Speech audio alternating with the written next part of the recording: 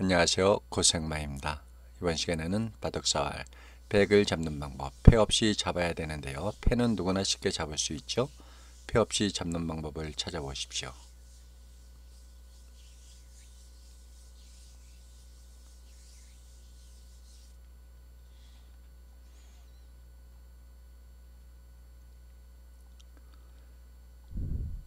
패가 나는 수들은 간단하게 이렇게 두면은 이 모양은 패가 되겠죠?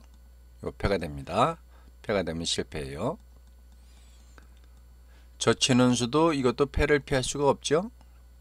아, 요 패를 들어가야 됩니다. 이것도 패가 돼서 실패입니다. 실수하기 쉬운 형태 여기 지중. 아 이거는 이거는 큰일 납니다. 이렇게 뻗는 수가 있어 가지고요.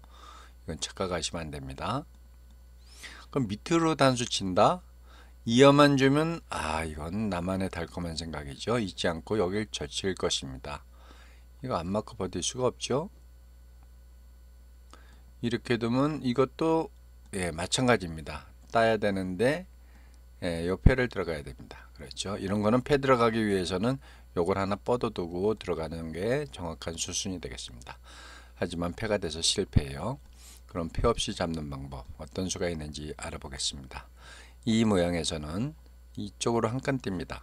일선의 묘수 이렇게 띄었을 때 백이 받는 수 이거 이거는 예, 안 되겠죠 백이 여기 호구 칠 때 어떻게 할까요? 이때는 이쪽을 붙입니다. 이 한 점을 백이 잡을 수가 없어요. 안 되겠죠? 죽었죠? 그럼 이렇게 두면 어떻게 될까요? 이때는 예, 치중하는 수는요. 이거 여기 붙여서 또 복잡해집니다. 그래서 간단하게 이쪽을 붙이면은 예, 여기 집이 안 납니다. 이 한 점을 잡을 수가 없어요.